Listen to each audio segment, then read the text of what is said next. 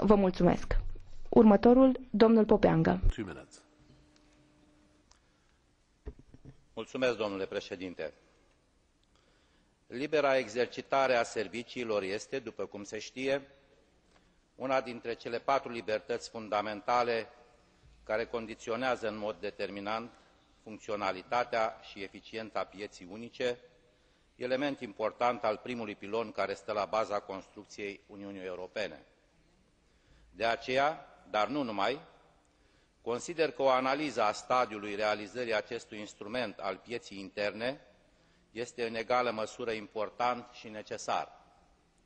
Important, deoarece de sfera serviciilor depinde în măsură consistentă dezvoltarea economică și socială a Uniunii Europene, semnificativă în acest sens fiind ponderea de 70% a serviciilor în pib ul uniunii.